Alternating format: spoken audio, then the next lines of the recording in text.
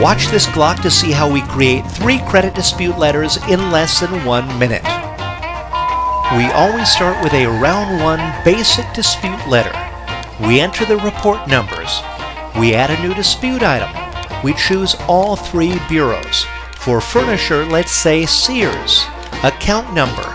The reason for the dispute, let's say the following account is not mine. For instructions, let's say please remove this inaccurate information from my credit report. Now let's add another. The bureaus. The furniture. American Express.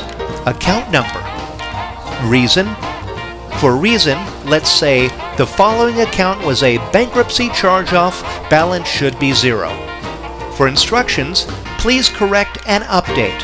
When we're done, we click Continue, we select the items to include, we click Next, and boom, here's our client's information, our two disputes, and we have just created three credit dispute letters in less than one minute, all ready to sign and send, and it's that easy.